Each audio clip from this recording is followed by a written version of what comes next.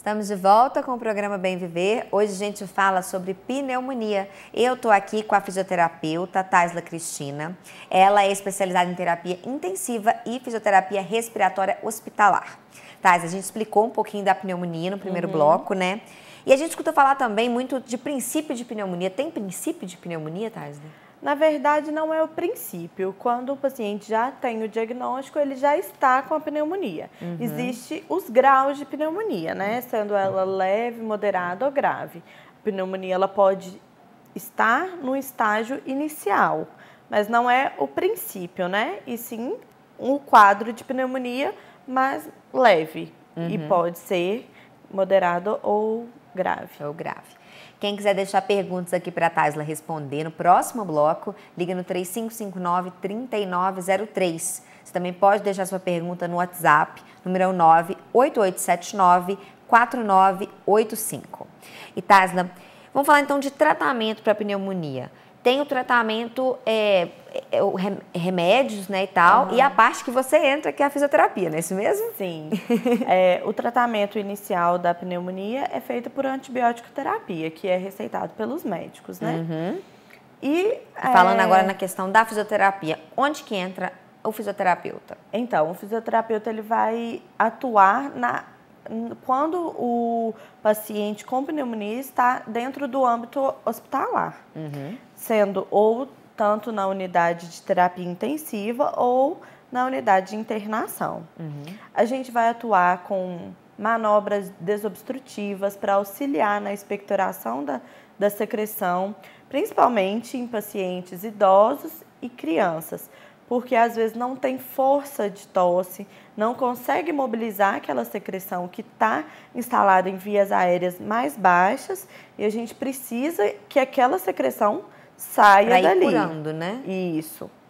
É, a gente atua com manobras respiratórias é, desobstrutivas para auxiliar, né?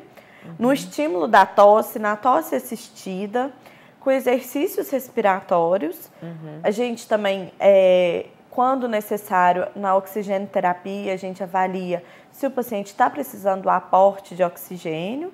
Uhum. E também, quando esse paciente não tem esse estímulo de tosse, às vezes é um idoso mais acamado, que não tem força mesmo para tossir, a gente faz a higiene do pulmão por modo de aspiração. Como é que é isso? A gente pega uma sondinha, é um procedimento estéreo, e ele, a gente entra com a sondinha dentro mesmo da traqueia, que vai conseguir tirar toda aquela secreção que está aqui, por modo de sucção. Uhum. E, por exemplo, essas manobras, é, essa respiração é feita manualmente pelo fisioterapeuta? Sim, as manobras são feitas manualmente e existe, existem também utensílios também é, que nos ajuda. Tem um, um aparelhinho que chama shaker, que ele, ao você soprar, uhum. ele faz uma vibração dentro do pulmão que ajuda a mobilizar essa secreção também. Uhum. É um recurso que a gente tem. Mas na maioria das vezes, quando o paciente já não está muito colaborativo, já está mais prostrado, é mais manual mesmo, porque ele não vai querer ficar soprando. Vai estar tá, tá cansado, né? isso, né? debilitado. É, uhum. Uhum. E isso é mais de uma vez ao dia, Taisla? O, o indicado é, é, vai de acordo com a quantidade de secreção a, do paciente. Uhum. Então, assim, se o paciente está muito cansado, a gente ausculta, avalia, vê se realmente tem secreção, aí a gente vai lá e, e ajuda ele a colocar aquilo ali para fora, né? Uhum. E tem também a pneumonia que é associada à ventilação mecânica prolongada. Explica para a gente o que, que é isso. Isso. A pneumonia associada à ventilação são em pacientes intubados ou traqueostomizados que geralmente estão dentro da UTI e tem um tempo muito prolongado de ventilação, que realmente a gente não conseguiu retirá-lo antes, não conseguiu fazer o desmame daquele paciente da ventilação mecânica. Ela acontece devido à proliferação de bactérias também. O nosso procedimento de aspiração nesses pacientes são muito mais frequentes Uhum. E a gente tenta ser o mais estéreo possível, né? Mas a gente sabe que ao desconectar o paciente da ventilação mecânica, é, a, a, bactéria que está ali no ar pode acontecer também de ficar ali. Uhum. E a secreção também de ficar. E é uma via aérea artificial, que não está ali. Então, assim, a gente tenta fazer o mais fisiológico possível, tem a umidificação, a filtragem daquele ar que está sendo mandado, mas não é a mesma coisa do, do nosso fisiológico, né? Uhum.